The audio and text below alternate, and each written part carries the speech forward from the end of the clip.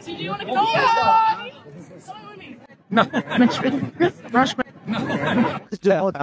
Asia Boone here with me. Asia, I bet you wish you could play against the Miners every time. Your first time out, 6 of 11 from the three. This time, 6 of 13 from the three for yet 25 points, a career high.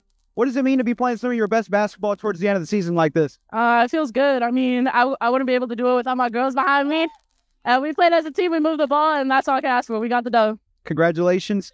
What does it mean to be able to come into someone's home court like this and put up a, an astounding win like this, 80 to 63? I mean, you just got to keep the focus. We all got to stay together. We got to communicate no matter what. And we did that. Congratulations. Enjoy this one with your team. Thank you so much. Yeah!